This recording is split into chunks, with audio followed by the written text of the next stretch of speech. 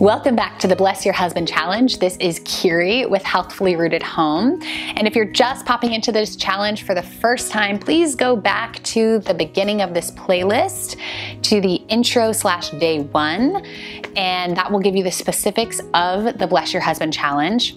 And please remember to share how you're blessing your husband today and use the hashtag bless your husband challenge.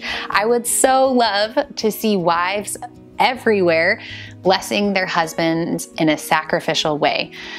So let's get into the challenge. Today is day 23 of the Bless Your Husband challenge, and today's challenge is to tell your husband how attracted you are to him.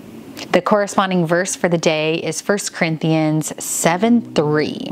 Let the husband give his wife the affection owed her, and likewise also the wife her husband.